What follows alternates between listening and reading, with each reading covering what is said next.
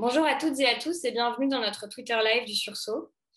Depuis l'annonce gouvernementale sur l'obligation du pass sanitaire, plusieurs manifestations ont eu lieu en France. Un mouvement de protestation s'est mis en place euh, sur les réseaux sociaux, dans la rue, contre ces mesures, contre le vaccin. Et on a vu fleurir euh, des comparaisons euh, surprenantes entre les restrictions sanitaires mises en place en France et la Shoah et la dictature et le régime nazi.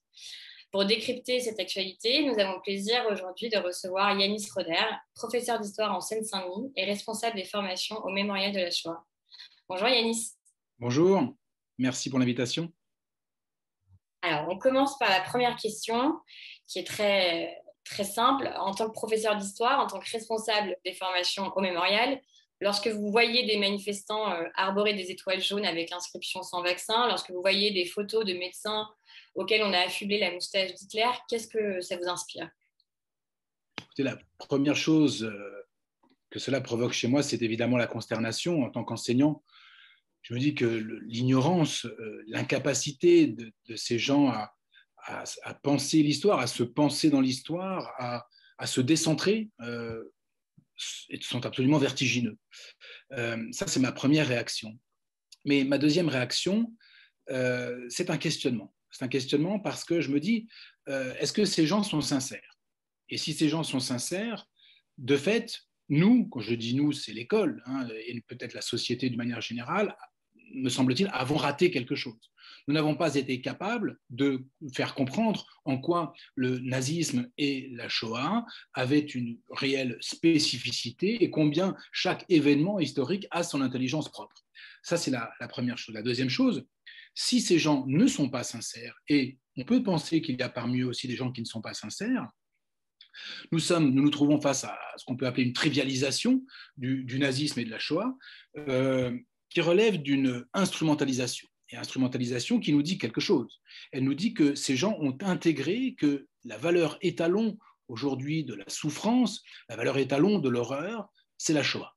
Et donc, il faut absolument se référer à la Shoah pour exister socialement en tant que victime, en tant que victime présumée, en tant que victime passée ou victime à venir, parce que là, il n'y a pas encore euh, a priori de victime, euh, si ce n'est les gens qui ne sont pas vaccinés, qui tombent malades et qui sont en réanimation, mais euh, sinon, il n'y a, a pas de victime. Mais, ces, gens qui, se, qui se vivent comme de futures victimes doivent absolument se référer à la Shoah et se dire victime à l'égal des Juifs durant la Shoah pour exister socialement. Et cela nous questionne beaucoup sur notre société, me semble-t-il, euh, d'abord sur ce que nous avons pu faire, nous, euh, d'une manière générale, de la mémoire de la Shoah, et enfin sur la place de la victime dans notre société. Euh, sur cette société, sur ce que j'ai appelé dans mon dernier livre l'ère victimaire, où il faut absolument être victime pour avoir une existence sociale, et cela questionne beaucoup. Merci beaucoup. Alors, c'est pas la première fois hein, qu'on voit ce genre de, phénomène. Dans l'histoire récente, on a vu d'autres mouvements euh, de protestation utiliser cette comparaison avec la Shoah ou avec le régime nazi. On se souvient il y a quelque temps d'une manifestation contre l'islamophobie au cours de laquelle des, manifestants avaient aussi arboré euh, l'étoile jaune.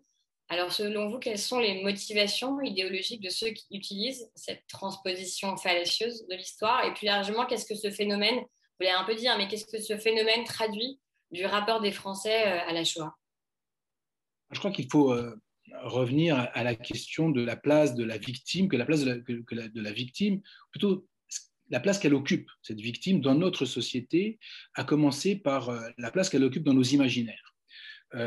comme je l'ai dit, il faut avoir été ou être victime pour exister, victime de l'histoire, pour exister socialement on est dans une société où on a développé le, dolorisme, le compassionnel, euh, et, on en voit aussi les dérives, c'est-à-dire que si on se réfère, par exemple, ça me fait penser aussi aux catégories weberiennes, vous savez, l'éthique de conviction, l'éthique de responsabilité, euh, où la conviction passe avant tout, et, la conviction, c'est qu'il faut aider, ou il faut, il faut euh, euh, voilà, être, il faut s'indigner, voilà, il faut s'indigner face aux souffrances du monde. Et, donc, peu importe les conséquences, peu importe les conséquences, ça c'est l'éthique de responsabilité, il faut s'indigner, et il faut, il faut pleurer, il faut euh, dire sa souffrance, il faut dire les souffrances, il faut regarder les souffrances.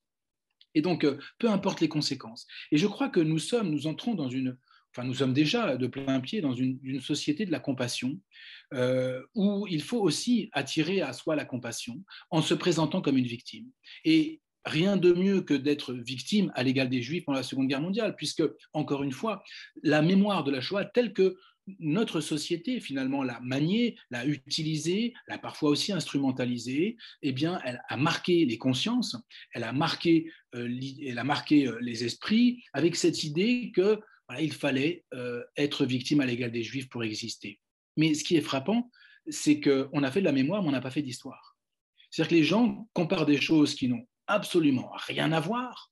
Mais euh, alors on peut, expliquer pourquoi ça n'a rien à voir. je, lisais une dame qui expliquait euh, on, interdisait aux juifs de rentrer dans les restaurants. C'est vrai, c'est la 9e ordonnance allemande du 8 juillet 42. nous non plus, nous n'aurons pas le droit. Oui, mais sauf que les juifs n'avaient pas le choix on leur pas, on leur a, on pas dit euh, vous faites un vaccin, puis comme ça vous êtes plus juif et vous rentrez dans les restaurants. Là, il se trouve que cette dame, si elle se vaccine, bah, elle pourra rentrer dans le restaurant. On n'est pas du tout dans les mêmes, dans les mêmes, évidemment dans les mêmes choses. Et je parle même pas de, l'idéologie qui est absolument, enfin voilà, nazie, qui, qui n'a rien à voir avec tout cela. Ces, comparaisons sont non seulement euh, malvenues, mais elles sont même honteuses et entre nous euh, complètement stupides. et donc cette mémoire de la Shoah, elle, occupe une place finalement démesurée dans, notre, dans nos représentations. Et je, vois là un, réel danger. Un réel danger parce que, n'ayant, comme on n'a pas fait d'histoire ou pas assez fait d'histoire, ou alors que des gens instrumentalisent la mémoire de la Shoah, euh, eh bien, celle-ci se banalise. Et si elle se banalise, il y a un vrai danger, c'est-à-dire que si tout devient nazisme, bah, finalement, le nazisme, c'est pas si grave.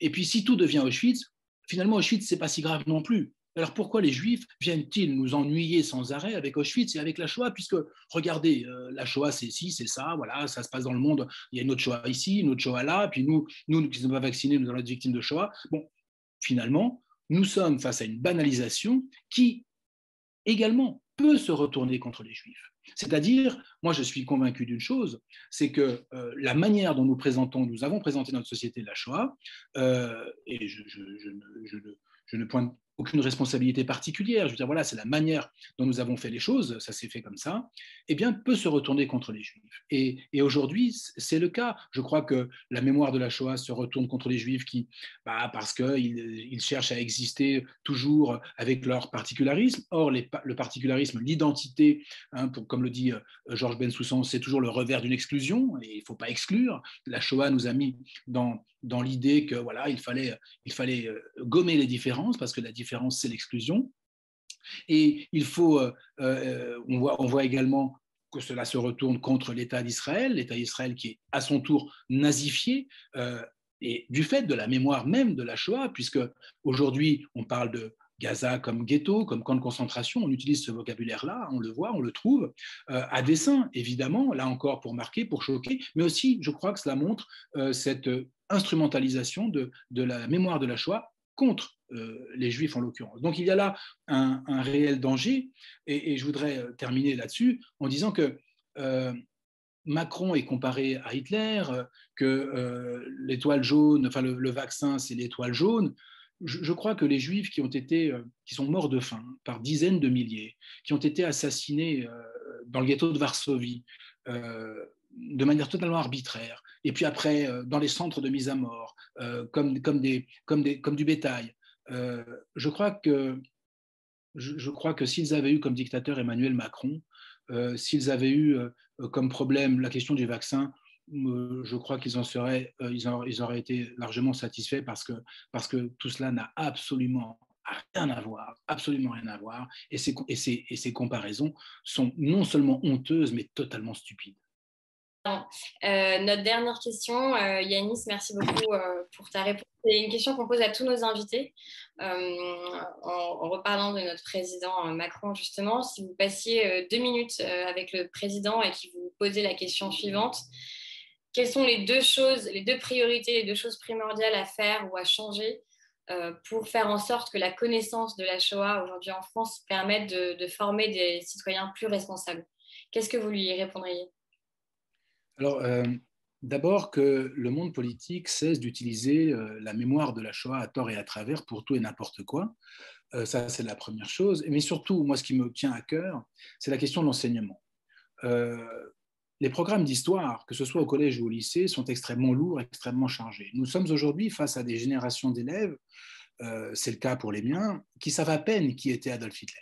Et donc, il y a tout à faire. Or, on ne peut pas, en deux ou trois heures, comme cela nous est demandé, expliquer cela. Il ne s'agit pas de, de, voir la Shoah de manière exhaustive. Ce n'est pas le rôle ni du collège ni du lycée, ça c'est le rôle des études universitaires. Mais il faut faire réfléchir. Il faut faire réfléchir sur le sens de cet événement sur et le mettre en perspective on, compare aujourd'hui, on banalise la Shoah en, le comparant à tout et n'importe quoi.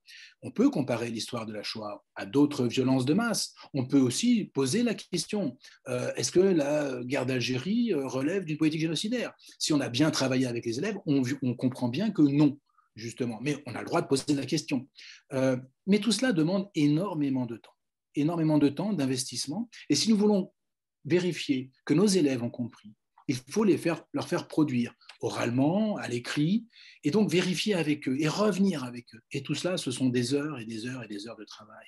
Donc, il faut, je crois, aujourd'hui, il faudrait, me semble-t-il, définir de grands enjeux citoyens. Et parmi ces grands enjeux citoyens, il y a la question de l'antisémitisme, bien sûr, mais aussi du nazisme, de la Shoah, des violences de masse d'une manière générale.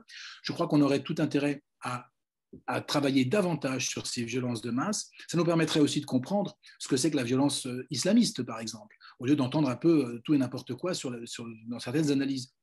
Prendre du temps, voilà, donner le temps aux professeurs de travailler sur ces questions, non pas uniquement sur la Shoah, mais sur les violences de masse, comment elles s'organisent, quels sont les processus, les dynamiques, comment elles se mettent en place. Voilà, je crois, que ce que je dirais au président de la République. Merci beaucoup Yannis, c'était très clair. Merci euh, d'avoir accepté notre invitation et merci à tous de nous avoir écoutés. Au revoir.